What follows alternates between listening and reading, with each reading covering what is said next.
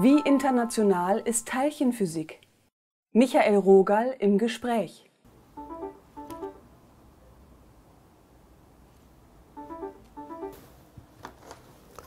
Guten Tag, Michael Rogal. Ah ja, Anna, äh, in deiner Liste von... Als ich zuerst nach Karlsruhe kam, äh, ich war vorher in Berlin und Berlin ist eine riesige Stadt, dann war für mich Karlsruhe so zu klein. Und das war für mich negativ. Aber mit der Zeit habe ich positive Seiten auch hier gefunden, weil äh, das ist alles kompakt, man kann alles erreichen äh, in sehr kurzer Zeit. Natur steht auch vor der Tür. So kann ich zurzeit keine negative Seiten für Karlsruhe finden. Wäre theoretische Teilchenphysik eine Person, welche Sprache würde sie sprechen? Eigentlich Mathematik, aber mh, hm, wenn man etwas seriöser nachdenkt, es kann alles sein. Es kann Englisch, Russisch, Deutsch, Französisch, alles Mögliche sein. Und zurzeit haben wir Englisch äh, als internationale Sprache sehr verbreitet. Es war aber auch nicht immer so. Viel früher war Griechisch und Latein für Wissenschaft viel wichtiger. Und später, in Zeit von Leibniz, es war auch Deutsch und Französisch auch für Wissenschaft sehr wichtig. Gibt es internationale Unterschiede in Lehre und Forschung oder ist Teilchenphysik grenzenlos? Physik ist grenzenlos, das ist richtig, aber natürlich es gibt auch äh, Unterschiede in Lehre und Forschung zwischen Ländern.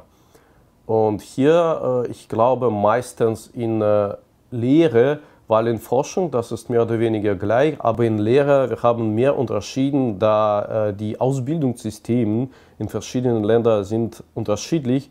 Deswegen man lehrt auch alles ein bisschen anders. Welche Stellung nimmt die Forschung am KIT in internationalem Vergleich ein? Sogar in der Zeit, als ich noch nicht nach Karlsruhe kam, äh, in verschiedenen äh, Tagungen, Workshops, internationalen Konferenzen, und auch äh, bei den ähm, äh, wissenschaftlichen Papieren äh, habe ich Wörter Karlsruhe Universität, jetzt KIT, äh, sehr oft äh, gehört oder gelesen, ähm, weil äh, in KIT man macht wirklich eine gute Leistung und gute Arbeit.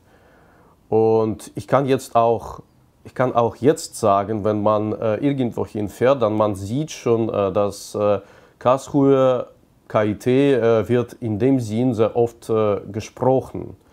Äh, so kann ich sagen, dass KIT und Forschung, welche man hier macht, nicht nur Teilchenphysik, ist eigentlich weltweit bekannt.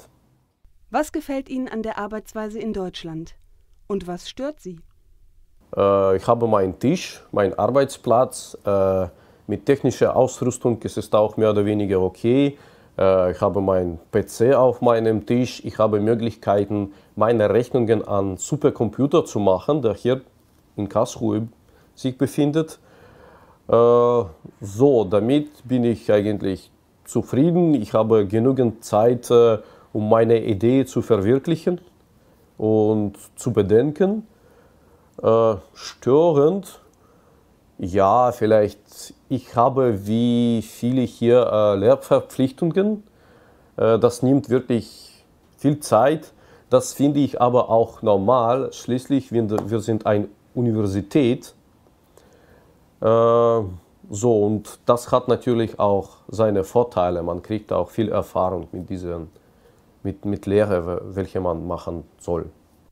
Wie beschreiben Sie Ihrer Familie und Ihren Bekannten Karlsruhe und das KIT? Äh, ja, zuerst zu Karlsruhe. Äh, Karlsruhe, ich würde so sagen, äh, das ist ein schöner Stadt.